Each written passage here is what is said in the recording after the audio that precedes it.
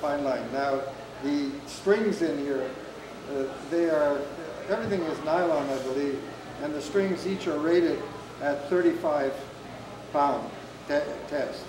Well, it appears this parachute shroud line has only got four lines in it.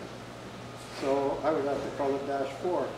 Well, when you want to separate the two, there's a way of, of pulling out the, the threads, and you're left with a hollow tube. This is usually, I think, called the mantle, and this is called the kern. So in, in the parlance of uh, um, mountaineers, this would be called kern mantle rope, as opposed to regular twisted rope and other, other things. Uh, this having been in service a great deal, it's a little, uh, a little more challenging to separate, but you can withdraw. So you find that each string is rated at 35 pounds, and each string can be unraveled into three, which is rated at dental floss. It's a common thing to get a seed stuck between your teeth in the middle of nowhere in the bush, driving you crazy, and you didn't bring any dental floss. Well, if you got paracord, that's the beginning of the 50 things that you can do with paracord. now, this is now more elastic. You've reduced its strength considerably, and uh, uh, you might find that it works better in certain applications. And I'll demonstrate. Now, the jam knot is actually not too complicated. I'll demonstrate it with a big rope, here, which I coil up in the proper fashion. This is a Rap-A-Tak rope from the firefighters, and when the rope reaches a certain amount of usage, it's taken out of service, and work with it a great deal.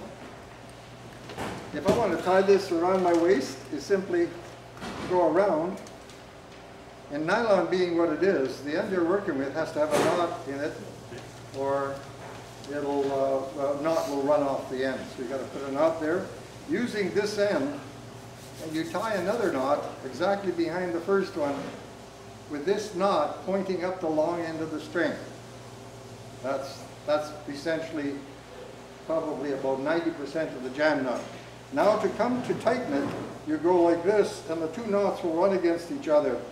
So if you tie these things too wide apart, you'll always have to take that extra few seconds to make the knots come together.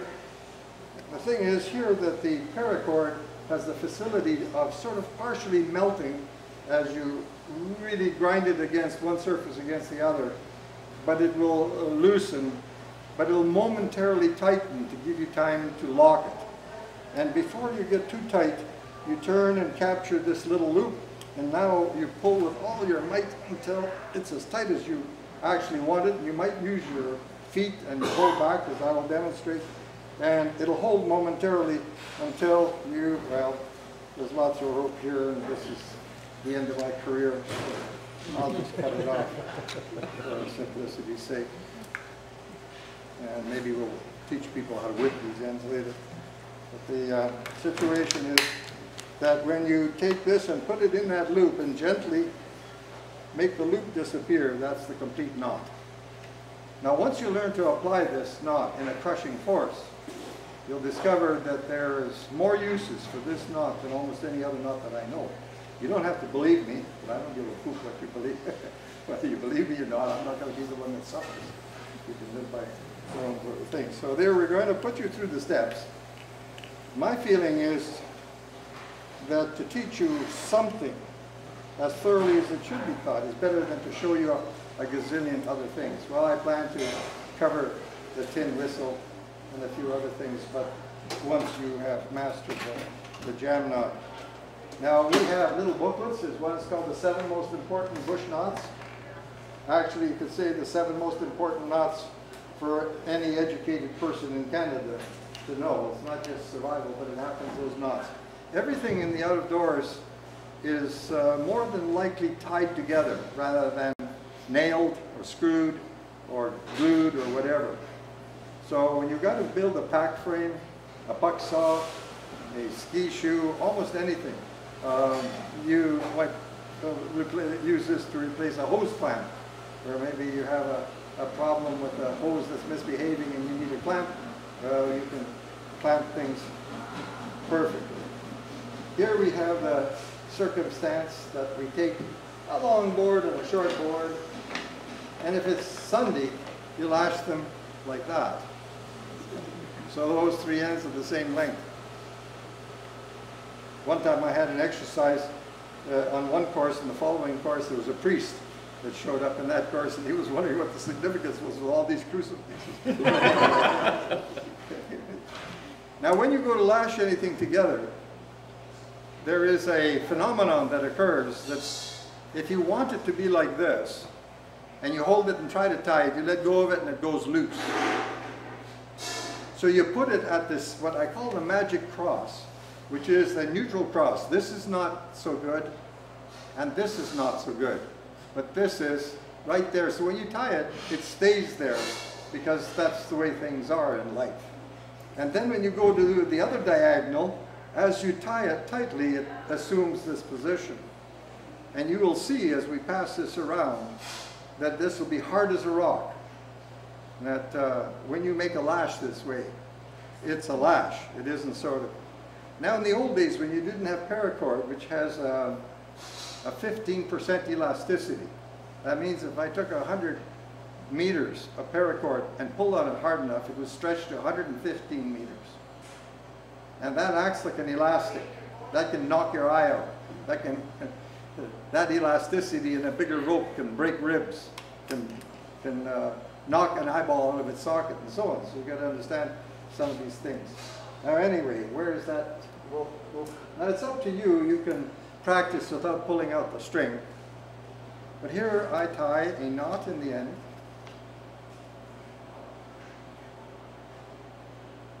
And then I go around. Now, another way to remember the knot is to tie a slip knot that looks like this so that the two knots are on the same end, not on opposite sides. That's called a strangle, strangle noose. That means that when I put this around something and I pull on it, it'll likely tighten. And if it tightens enough, it won't back off because there'll be this little bit of a nip that occurs. So you've got the two ways of doing this. If there are 10 different ways to tie a knot, you must master all 10. And students don't like that. They only say, well, why, I, why do I need more than one way of tying a knot? Well, you'll find out later life that there's many different ways to skin the cat. Now since I've tied the loop, I'll just slip it over. And here I have the circumstance that I got that and I'm ready to tie. Now, when the string runs through the knot and then beside itself, that's where you can draw this knot up in a tremendous crushing force. So I should separately demonstrate what we're talking about. Let's break this chair. so here is this. Let's start over again here. There, I made that first knot disappear. I go around and I tie, and I'll guide you through this. And there I've tied that. It's the very same knot. Now here, when I want this to tighten, if I pull this way, it doesn't work. If I pull this way, it takes up the slack. And here is where you're drawing with a great crushing powerful force. Right there. Until when you pluck it, you get the note of G or whatever, or even F, it doesn't matter, but you'll get a note at any rate. So you can draw this up to an extremely tight, and when you draw up any rope or work with anything, do not line yourself up. Don't like hold it like this and then pull like this so if something snaps. It's uh, not a nice feeling to get whacked in the eye and then wonder whether you have an eye or not. And you're that few moments that you're saying to yourself, do I still have an eye? Because it sure feels like I don't. Don't line yourself up with anything. Uh, there's enough hazards in life about that. But anyway, and if I was asking you, there, I don't know, what note is that? Who's the musician here? That, that you get, uh, ten, you can get an unbelievable tension by using your back and your legs, which uh, in some cases will save your life. In other cases, well, it just, but now I haven't locked it, so I can loosen it. but this old stuff here, doesn't want to back off because it's kind of like old and, and skanky.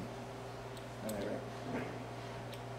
Now if I want to untie this knot, because I have sort of made some kind of, and I, I don't want to waste stuff that's, that's uh, maybe precious and that very first knot you tied, if you cut it off, you've only wasted a centimeter there. Now the knot comes off, come, more or less comes undone by uh, there. And that's all you wasted was this amount, because you cut off that first knot. If you don't tie that first knot, It doesn't work. it just doesn't work. Yeah, because I couldn't remember the jam knot and I couldn't figure why it wouldn't work. Suddenly, an hour later, I said, oh yeah, there's supposed to be a knot in the end. Now here we have the magic cross. If I was tying a tripod together, tripod, there would be one stick and two sticks parallel, but still at the magic cross. So here you tie it. Now that's the neutral, that the, the magic cross hits the neutral, uh, uh, that as tight as you tight it, that's the natural position that the two sticks will take. Now before I tighten that, I've got to set up this loop to lock the knot after I've drawn it up, and that's what I've done there. And now I'm looking at which way the knot, I have to parallel the string beside itself. I hope I make this confusing enough that you'll, you'll sort of say, I'm never ever going to be able to learn this knot. There, I've drawn it up, it's already snug, but I might stand on this and I might pull, and of course when you pull something really, really hard, you can pull it even harder if you go like that. That's about twice as tight as it would have if I didn't make that sound. Anyway, so now I watch everything. I don't want to snarl things up. And I take this end and I draw that loop till it disappears. And now the knot can't loosen. I've locked it. It's called a half hitch. So that's the complete knot. Now to do the other diagonal, you'll find that when I draw these boards around like this, it even tightens the knot even more. So as I do this like that, and then tie it, lash it so that it's at 90 degrees, you'll find I've created a, a rock hard lash. Know, tie a knot 10 times better than it should be and it'll just be just right. So now do the same thing for the other diagonal. But now we're going to eliminate the magic cross. Now, there is a problem in that you might have to tie this knot in darkness. Therefore, you have to master this knot with your eyes shut and perhaps in this much water behind your back. And then that way you'll forever remember. Now, the Junior Forest Warden movement, I've been around for many, many years, particularly the Calgary clubs. And uh, we would have this sort of general standard weekend where you learn a lot of a lot of little things, basically everything focused on, you know, survival, how to light a fire, how to build a bed, how to uh, build a shelter and everything. After a while, people would say, you know, we've had this so often, is there something else we could do? And I'll say, how about knots? Knots? Won't you cover all your knots in the first hour or so? I said, no, just, just let's, just, you know, take it on faith. Let's have a knot tying weekend. There are the seven, that little booklet there has got seven knots. Well, when I talked them into it and we start and have, you know, a little bit of tying and Friday night and then Saturday nine to nine and Sunday uh, nine till four, we are not four. we still had three more knots. And people in general somehow think knots are just knots. No, they could be tied the way they should be. The way a sailor would tie a knot on board a ship and the way all these other things. It takes time for you to learn to tie the knot almost instinctively or without your eyes or behind your back.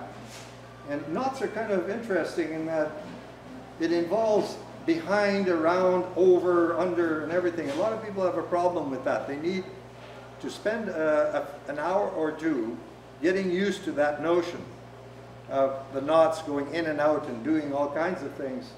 And then all of a sudden they have this aha moment and from then on that isn't a problem. But you have to work at it for a while to eliminate the problem. And if you don't work at it to eliminate the problem, it'll take you for the rest of your life. Here now I start to draw up the knot. Again, pulling in the direction that the two strings parallel each other.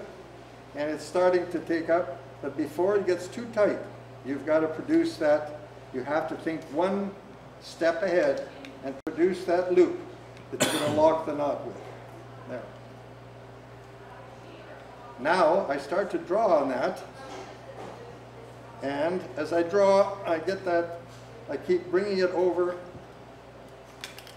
to where I want the, you know, you, you don't get full marks if your cross isn't perfectly 90 degrees. And I, the reason I, they talked me into coming to these things, I'm 76 years old. I, uh, I look forward my whole life to get away from all this, but they still keep talking, and I, you know, it's too soft, and I agree, and I come.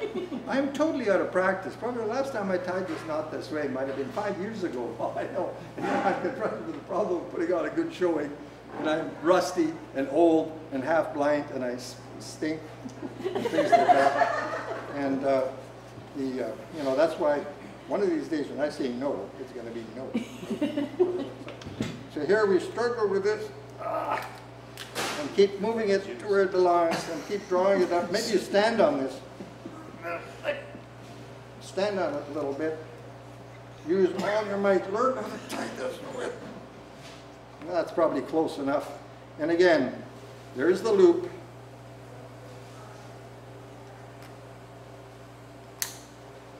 And then I take the other end and gently watch what I'm doing as I draw up that half hitch because you can really pile up and snarl and make things messy if you don't. Uh, and so I'm watching carefully and you hear things clicking all over the place there. And uh, I would be docked for that. It's not exactly. But as you pass it around, you, you tell me, how can you lash anything together using about this much string with this hardness? You're, this, this is lashed. It's not just tied together. So that's the whole issue of, uh, of the, uh, the jam nut. And it doesn't break. Now I'll give everybody, you can thread it, but that's tedious. Usually you just grab the knot and turn. Grab the knot. When you turn it, then this is on this side there. Got it? I think so. And then this one comes through. You got two distinct groups, horsey people and mountain people. They gotta have some kind of things to talk about. Well, the horse people said, what is the safest loop to put around a horse's neck? And the mountaineers, well, surely it must be a bowline, a bow line. Bow line on a ship is the line from the bow that you throw, and there's a loop on the end. So you, the loop is called a, a bow line. Well, when you put a loop around a horse's neck, and it's a bowline, and the horse jerks it fiercely, it turns over and becomes a strangle knot. That means here it's normally considered to be a, a fairly secure and useful knot, but a very powerful pull will cause the knot to flip over. And when it flips over, now it's a knot that the tighter it's tied, the tighter it holds. So the horse flips the knot and starts to strangle itself. And just imagine a horse that's choking itself to death by the fact that it's pulling so hard and jerking on the rope. How are you going to approach that horse and cut the rope? Or how are you going to release it? It's not a good thing to allow a strangle noose to form on your favorite horse's neck. And so the, the horse people said, no, bowline kills horses. Mountaineers said, well, then I guess we have, we don't know what loop to use. Well, I carried on every time I had the opportunity. If I met a cowboy or somebody, I'd say, hey, what is the loop? And one day, it was Mr. Bradshaw. He had these bowed legs that when he put his heels together, a pig could run between his knees without touching him. He was so bowed. And I said, what kind of a loop do you use around a horse's neck? And he showed me a knot that I had not, when I'm sort of a knot crazy person, I had never seen that knot described in any of the knot books. It was way he was brought up in southern Alberta, and uh, the cowboys there knew a form of bowline that never turns over. It- so, because I'd never seen it anywhere else, and he showed it to me, I called it the Bradshaw bowline. So when you go to tie a bowline, the rabbit comes out of the hole, goes around the tree twice completely, And then usually you should set it up so that you can untie the rope by jerking on it.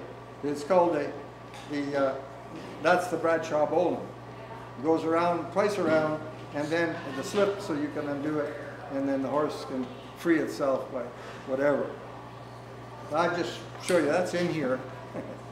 So if you There's want to know a bit of junior, junior forest warden history, if you ever run across the term the Bradshaw Cowboy Bowline, that's where it comes from. Anyway, so here we've got two pieces. One twice as long as the other. Take the short piece, and if you say arc, some student is going to say, what's Noah got to do with this whistle? They don't understand the word arc. If you say rainbow, they understand. If you say hill, they understand. Hill might be better because if you can't walk up that hill, it's too steep, it won't work. And then you take this bent part without compromising the space that's going to be between, and you make a small little cross, a Celtic cross at a Celtic mouse's grave, with the three ends here being equal length and whatever is left over. And without squashing the hill, you make the two side folds and the third fold, and now that piece is locked on there for a channel to blow. Then you draw that back so there's no jiggle, and you make a sharp seven. Then you take the seven and change it into a question mark without the dot. Like so. That's how they used to sell whistles. Then somebody welded sides on about 100 years, no, 127 years ago, because I learned that 27 years ago. So 127 years ago, they would make whistles like that. So now your fingers complete the whistle. And it, I'm a whistle doctor, so I know what it takes to be able to adjust it. If I flutter my tongue, now when I tell grade six students, I say, I'll teach you the Morse code. And then you can talk dirty in the schoolyard, and the teachers won't know what you're saying. In the next half hour, they're well on their way to master the Morse code. now the Morse code goes like this. A is dot, dash. This here you fill in.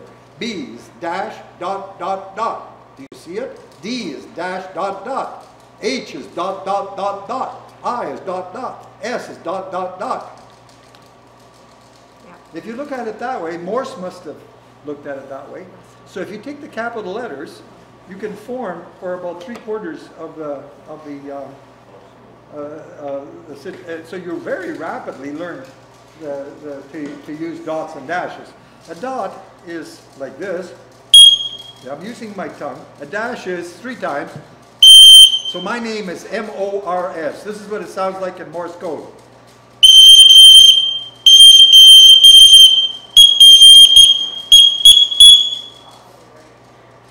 How do you say ship? S dot dot dot. H dot dot dot dot. I dot dot. P you got to memorize is dot dash dash dot. And R is so similar like P, except R's got says dot dash dot. So now the is dash dot dot dot dot. And E is the dot because you use it so much. So now you can talk dirty. because you know how to spell ship and the, and you can find the words in the two to come up with fish ship. The ship. Anyway, that's what the, well, let's see, this is an average whistle. And you can tweak it and everything. The entrance here can be quite large, but you flatten the other end. And the gap is like imagining your phys ed whistle. I had one around my neck for a while ago. Yeah. Still there. It's still there, there, there. Look at this, that gap, look at that gap there. Oh. That's uh, cost a dollar thirty-nine. But anyway, um, you, you work at it. If your whistle isn't working, when you're working with people, they make the whistle, and rather than you putting your filthy lips on it, you, you uh, hold it for them the right way and they blow to verify that it's been folded properly. And now what happens if I use a big thick one here? At the one-third point, I fold it, or thereabouts, straighten bend, straight and bend. A lot of, you know, in, in, in everyday life, kids don't know that you can take a piece of wire and flex it and break it. It'll break eventually. So when you don't have a cutting tool, you've got to know how to break certain things and so on. You take the short piece and make it into a hill. If you can't walk up the hill, uh, if it's a U, it doesn't work. If it's too flat, it doesn't work. So just right if it's a nice hill or a rainbow. Now you'll also find that by bending, there'll be a scratchy. Uh, when I broke that, and I run my finger like that, and if I, uh, um, not folded right, that sharp could cut my mouth. Now in the junior forest wardens, twice, kids have swallowed these whistles, so you should not make them out of anything but aluminum. Parents get extremely excited about the fact they swallowed a whistle. I don't know why. I w- You would think that if it's aluminum, by the time it gets to the bottom of the stomach, it's dissolved. If it's, if it's tin, you're probably going to end up whistling, but not the, the other end. The other end. It's have to be kind of sharp, so you'll say ouch when, when you hear the whistle. Anyway, you put it on, now look at how short that's turned out. But I, they call me Morris plier finger because I can still bend it. And uh, I got the three bands, got everything. Now it's very important that there's no jiggle. Any jiggle will, the whistle won't work. You got to pull it back and then a sharp seven, not a round seven, very sharp seven, and then curl it around. It does not have to be perfect. It just has to be a chamber. It could be pretty irregular, but you, you know, if you're going to do it, I mean, there's probably some merit to learn. Now this has got a different configuration than the first one, and I leave it big here, and I bite it there, or flatten it, line it up. It's got to line up so that the jet of air that goes there has to hit that cutting edge. Now, it's, it's, uh, because my chamber is so much smaller, these two whistles actually sound alike. But normally you should have had a, uh, if you got two whistles and you blow at the same time, uh, science comes into play. Science rear, rears its ugly head and you hear a beat, two different notes. But those are so close you can't hear the beat.